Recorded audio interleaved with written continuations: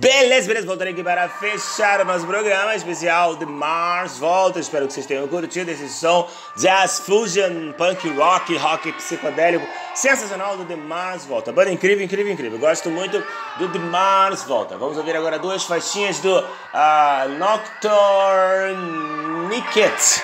Esse é o nome do disquinho, até onde a gente conseguiu chegar. Uh, vamos ouvir aqui, dar uma colinha na discografia dos caras. É, a gente vai até o último disquinho dos caras. Esse é de 2012. Aí, em 2002 saiu o EPzinho de estreia, o Tremulant EP.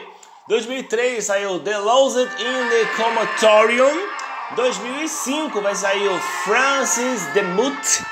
Uh, 2006 saiu o Unpecturer, é que a gente está ouvindo a faixinha de abertura de BG. Ah, na sequência, a gente teve em 2008 o The Badland in Goliath, foi, ganhou um Grammy.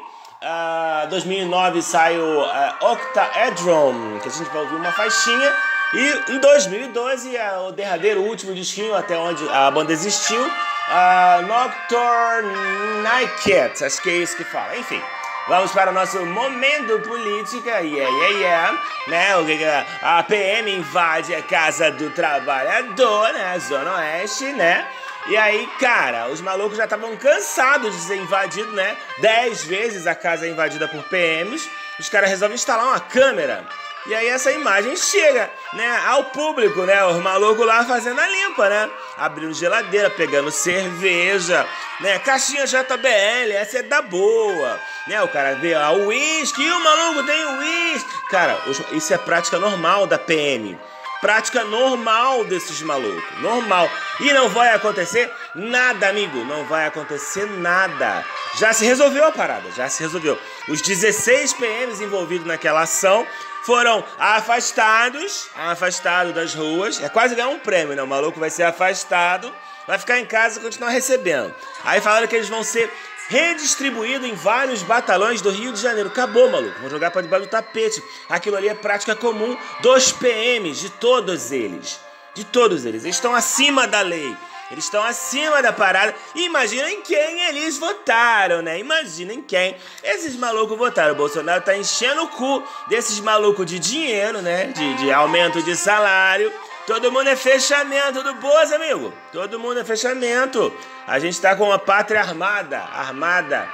Armada. E aí, enquanto isso, o Bolsonaro vai fazer uma viagem para a Rússia, né? Para falar com o Putin. Vai ter que fazer cinco testes de Covid. Cinco! Cinco testes de Covid para se aproximar do Putin. Gracinha, né? Não vai fazer porra nenhuma lá, não vai fazer porra nenhuma lá. Tá só querendo, né, ajudar aqui, né, a, a, a falácia dos, dos seguidores dele. Não, bababá. Cara, eu fico imaginando, eu queria tentar ver a cabeça do Bolsonaro nessa hora. O que que ideia? Cara, o Bolsonaro, vamos, vamos raciocinar como bolsonarista. Peraí, Bolsonaro vai pra Rússia? Mas a Rússia é comunista. Então quer dizer que o Bolsonaro é comunista? Peraí, mas se o Bolsonaro é comunista, então o Lula é nazista. Não, mas o Lula não pode ser nazista.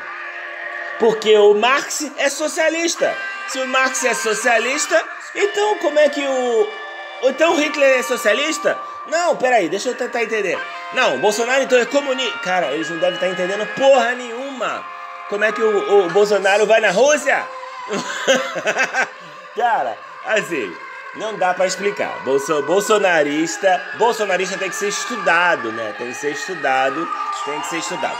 E nesse meio tempo, né, descobriu-se, né, que em dezembro o nosso secretário, nosso não, né, nosso caralho, secretário de Cultura, Mário Frias, ator da Malhação, né, grande ator, né, o maluco era uma merda como ator, queria ter sido protagonista, né, ah, o sonho desses malucos é tudo virar Tarcísio Meira, né, maluco é um bosta de um ator, né?